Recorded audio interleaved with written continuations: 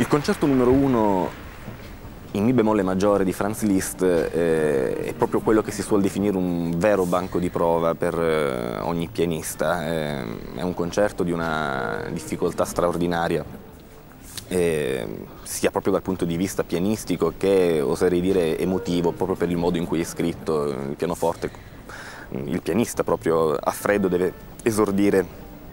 con dei passaggi difficilissimi, con delle cadenze molto virtuosistiche. E, mm, è un banco di prova, dicevo, ed è eh, veramente un concerto molto avvincente per il pubblico, amat amatissimo dal pubblico, eh, un po' meno dalla critica, eh, come spesso avviene nel corso della storia, mh, mm, eh, perché appunto eh, il pianoforte si rapporta con l'orchestra in maniera a volte ehm,